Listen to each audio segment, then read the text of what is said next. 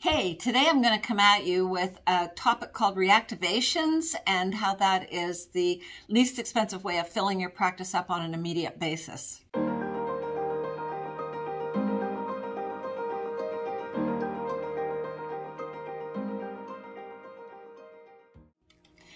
Do you ever find yourself looking at your schedule and wishing that the next month was fully booked?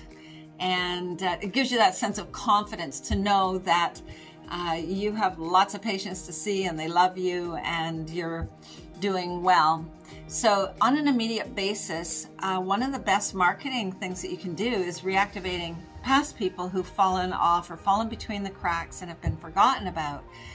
Um, so I thought I would talk about reactivations today uh, to take look in depth at a few different points.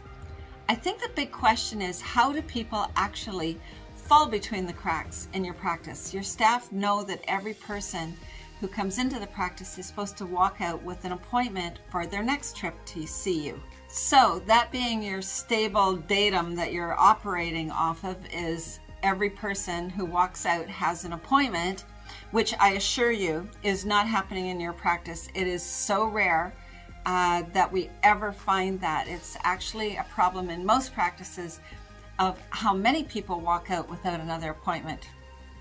Amazing. So, staff always say, oh, yeah, everybody has an appointment. And I'm not hitting on them, I'm just saying they work really hard to try and make it so in most cases, but um, it doesn't mean it happens. Well, how do people escape without an appointment?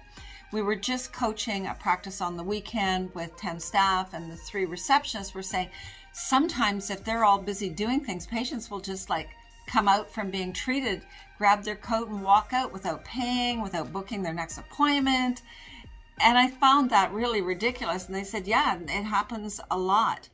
So the first thing is having your staff capture people before they come out.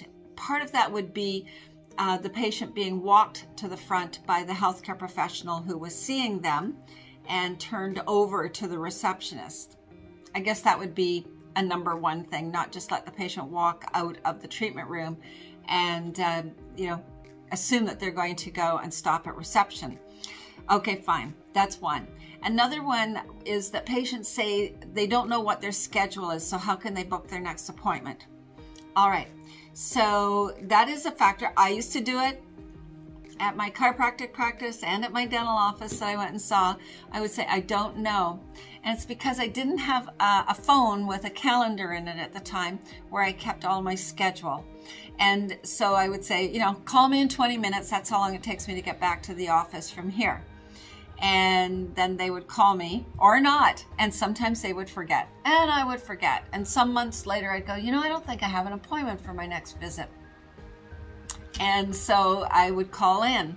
Or they would find out sometimes and check it out and go hey she doesn't have an appointment.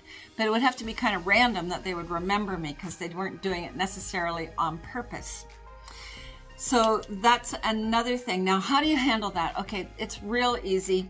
You just say to the patient, all right, we need to schedule you for coming back in two months or six months or whatever the time frame is. Um, what works best for you, morning or afternoon? They go, I don't know. Um, I don't know where I'll be in six months or two months. And honestly, who does? Who does know exactly where they're going to be? They could be at the hospital.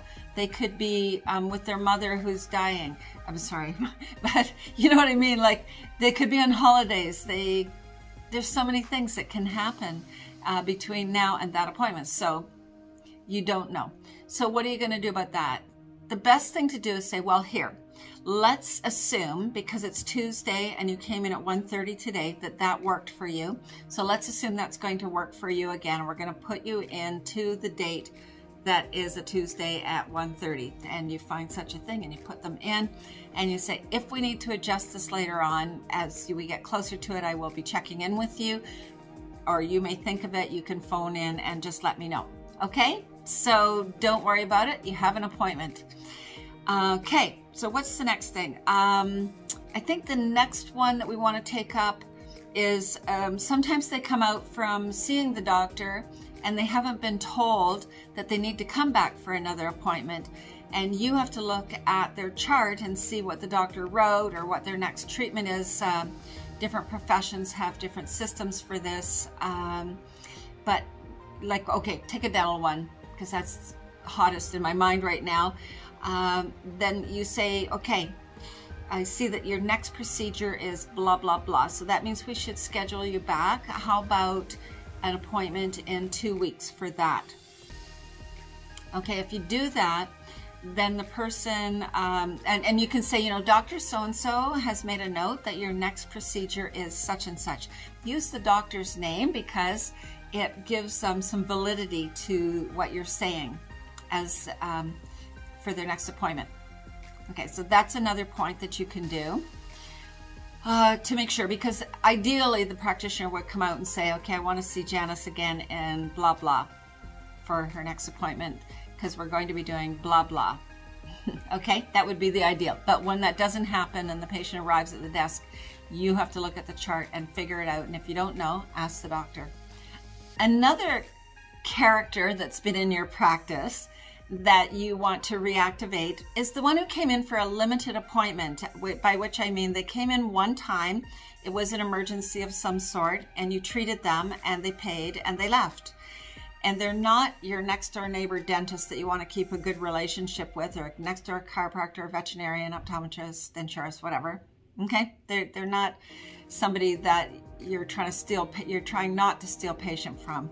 But this person needed you for some reason and quite a lot of patients out there are people who just go for one visit and the practice fails to turn them into a new patient of that practice. So you have to phone these folks and build a relationship with them and find out who they are and what are they um, who are they seeing on a regular basis for their health care and if they don't have somebody that they say is their regular doctor, um, and the, one of the ways that you could say it is like, we never sent your records of what happened today to um, to your regular doctor for blah blah blah whatever profession you are. Uh, could you give me their name? And if they can't, then you say, hey, well maybe you want to be a new patient of our practice and let us take care of you. Like and they're going to have to do some handling because this person is not usually well educated on um, keeping their health care intact and doing what they should be doing, or they wouldn't just pop in for a random emergency from time to time, right? So you want to actually uh, turn them into someone who gets educated on the aspect of their health that you deal with and get them to become a patient of the practice for real. And this is a person that definitely should be marketed to. All right. Now, if they are the patient of one of your friends and they were away on holidays, the friend doctor was away on holidays, you don't want to steal their patients. You want to keep a good relationship because when you go on holidays, your patients have to go somewhere. So, you know, there's always being good manners and keeping ethics in. But if the person doesn't have a regular healthcare professional for your profession that they go and see, then you need to turn them into your practice patient. And that's for your staff to call out and build a relationship, get to know them, find out what they, how often they go and see um, your profession, blah, blah, blah, blah, blah. Okay, so there you go. There's some thoughts on places that you can reactivate and look for people that fell between the cracks and didn't have a next appointment. They canceled their appointment and they never rescheduled.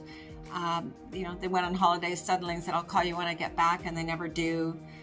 Um, all the different ways that patients end up without an appointment. You will be shocked. Usually it's a good, almost half a practice, uh, half, a, half a patient base don't actually have an appointment for their next procedure.